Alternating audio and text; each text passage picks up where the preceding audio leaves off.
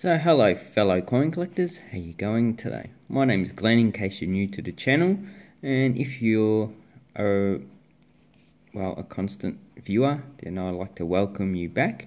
And today I just want to show you one of my favorite coins. So this is an Argentina 2 centavos.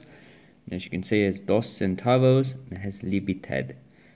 And it has liberty or freedom depicted on this coin so to represent the independence of Argentina.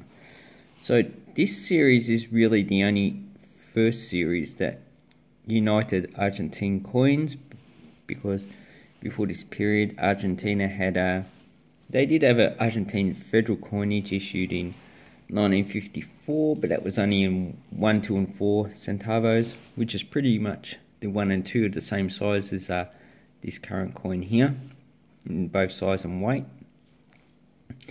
And they also had coins issued by various uh, provinces like um, like uh, Buenos Aires, the capital. Uh, who else? La Riojas, Tierra del Fuego. So there was a disjunct in the currency system. So here I have an Italian centesimi and if you can see this is actually the same size and it's actually the same weight so 10 grams and 30 millimeters. That's because at this time Argentina was part of the Latin monetary system and they issued the same bronze coins as um, or the same size coins as most of the other Latin monetary Union members did. Uh, Switzerland, under the half franc, didn't actually follow the standard. But the value was one Argentine peso equals five French francs or five lira.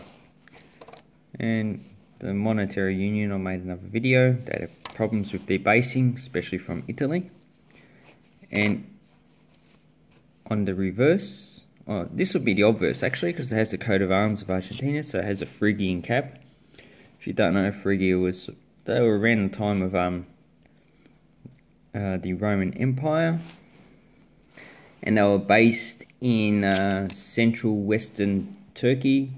And they actually spoke their own language, which is a Phrygian language, which was a Indo-European language, but it might be related to Greek, but we're not too sure. Anyway, and on other stuff on this coin is a Republic Argentina.